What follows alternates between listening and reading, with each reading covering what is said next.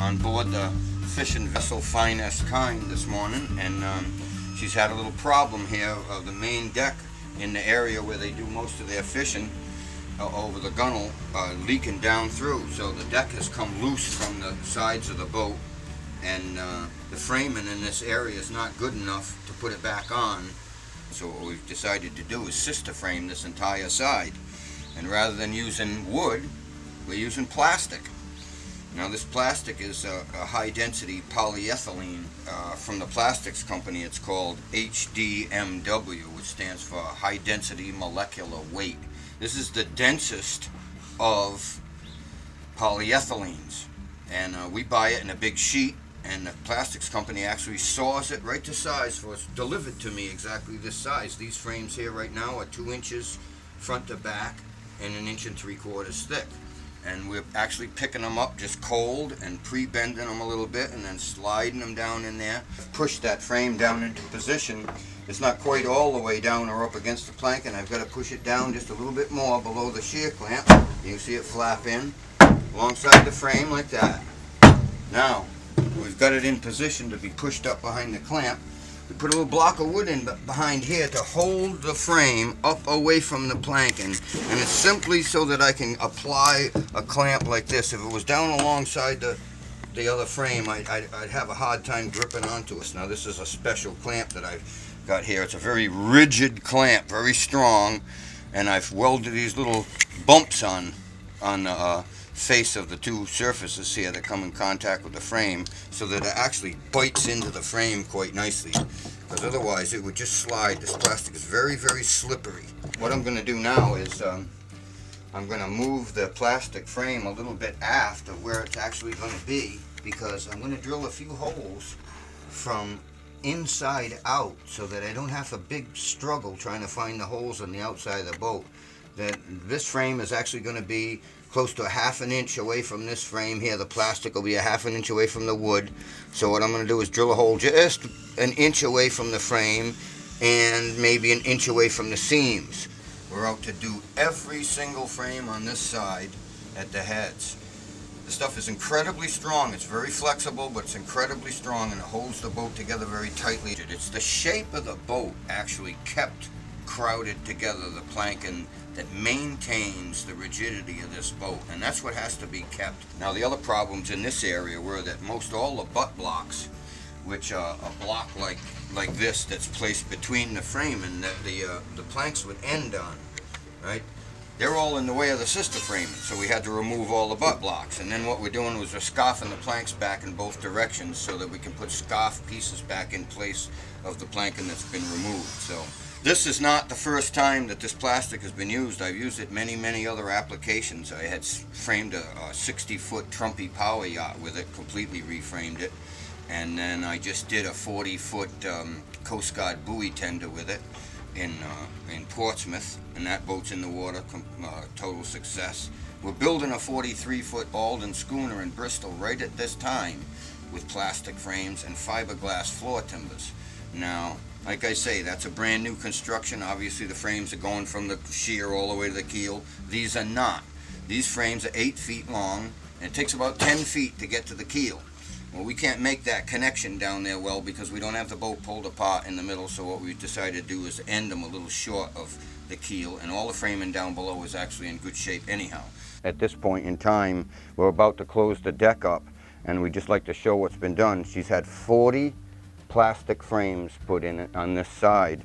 We've replaced the ceiling and the side of the boat in a traditional fashion. This is uh, three quarter inch, or what would be um, four quarter uh, porch decking actually, Douglas fir quarter sawn porch decking. It's been beveled so that it can be caulked, fastened to the plastic frames with uh, bronze screws. Where I'm sitting here, I can show you there's a transition in the deck right here. This is an upper deck forward, and this is this deck's a little bit lower. So we've replaced also the uh, stringer that the deck timbers sit on because this was the problem with the boat to begin with. This timber was not much of a timber. It was fastened only to the wood frames with a couple of screws and it had come loose the length of the boat. So the deck and the sides of the boat were no longer connected. That's what we were uh, having the problem with. All the deck water would end up in the bilge and you're constantly pumping it out. So that's what we're set out to accomplish. And we've also provided a longitudinal support that uh, goes down alongside here to support these deck timbers and then we've added stanchions. Now stanchions are vertical posts that are bolted to the floor timbers in the bilge of the boat and come up and support this timber here, which in turn supports the deck timbers.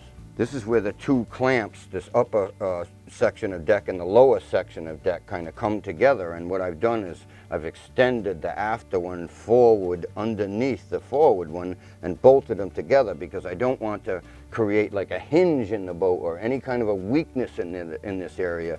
We're trying to stiffen the area up.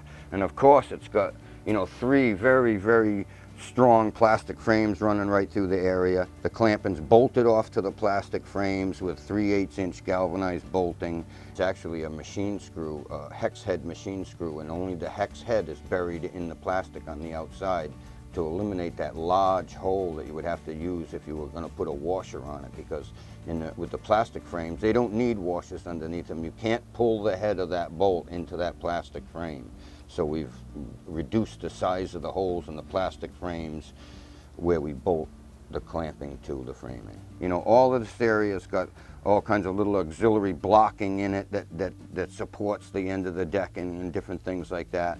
This uh, deck timber right here is eventually going to be replaced and it actually only butts into this block right here so that so that it can be taken out without disrupting all of this. All of this work in this area, forward and aft, is designed so that we can remove the deck again later and replace some of these deck timbers without disturbing anything from here up.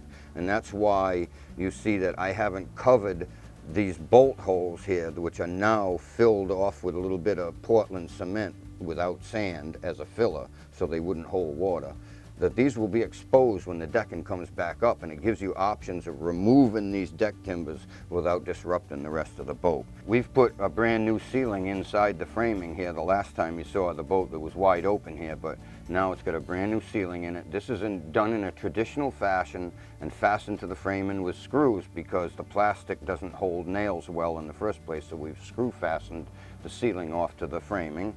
It's been beveled uh, on both edges so that it can be caulked with cotton so it'll be nice and tight. And this is basically opposed to what might be done with uh, plywood and fiberglass. I didn't want to go through all of that product with all kinds of epoxy and all kinds of different things like that. So this is done in a traditional fashion. The only place that's really broken tradition here, I guess, in this situation is this piece of ceiling right here was put in first. It's considerably uh, wider than this one because it extends down behind this first piece of decking, or you might call this a covering board that goes around the decking. So uh, the thing that I've done here, because this is a problem area in a lot of boats, it's a harder seam to caulk, you know, because uh, it, it's on an odd angle, whether you put one piece in first or the other piece in first, your seam is still on an odd angle, so you have trouble with it. So basically what I've done is I've progressive bevel sawn this piece so that the angle on the outboard edge of it matches up to this plank perfectly. And uh, I've, I've patterned it and cut it to a progressive bevel, and now I've slammed it up against that piece and glued it off to this piece here. And uh, what you have here now is a seam that's never going to need to be caulked again. So this is a glued seam. Your first caulk seam is here, and then your first caulk seam on the deck is here. And uh, I think it's a mass improvement on the way it's done originally and uh, uh, it's still a traditional fashion and it's got nice beefy lumber. You know, this is all quarter sawn fir with the annual rings going vertically through the decking and, uh, you know, uh, 90 degrees to the ceiling in this respect. So this is a, a lumber that doesn't swell and contract a lot. It'll stay nice and tight, very durable, nicely done.